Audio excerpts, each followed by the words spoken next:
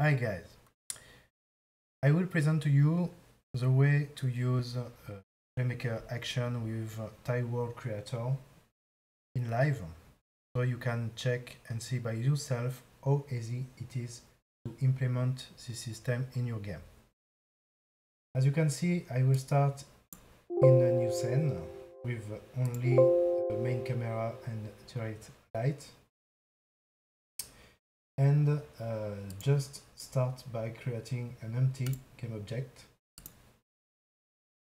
which uh, will uh, be used to uh, attach the component of tile world creator and tile world object object scatter. And after that I can add my FSM and go to the action and select the one I want. For this example, I will just uh, start by this one, which will regroup everything uh, in, inside one, one action.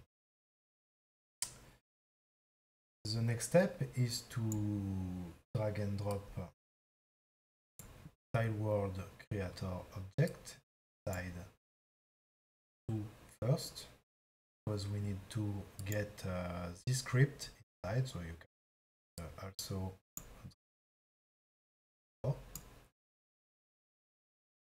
and next uh, we need to have to choose which configuration and object scatter configuration we will use to build our, our level.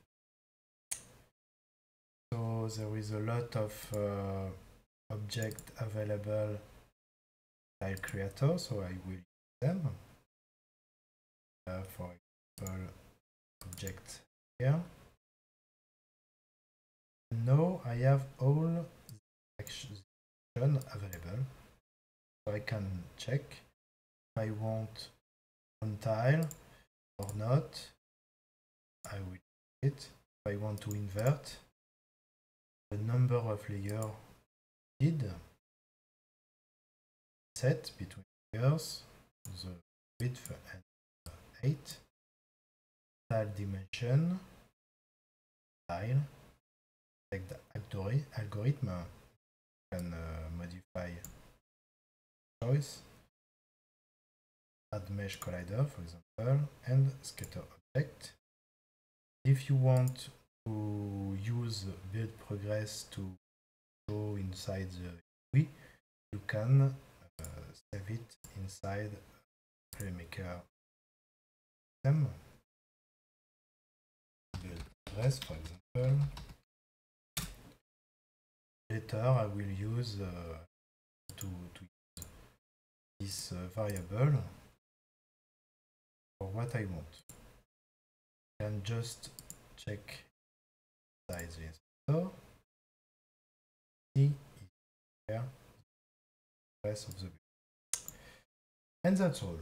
If I click play now, just I just finished my work and, uh, and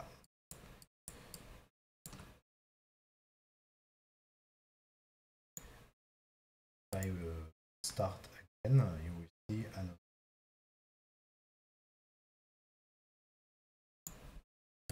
modify dimensions.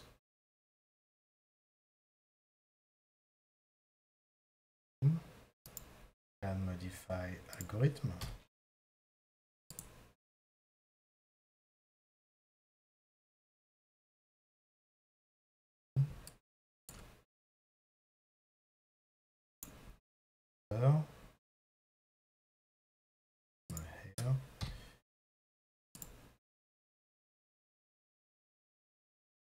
Everything is working fine without any kind of effort. So you can uh, create this kind of files without coding. That's awesome. Uh, if you want, you can merge, auto merge, activate uh, this option from uh, and it it will work uh, as expected so. You can see everything. As can move.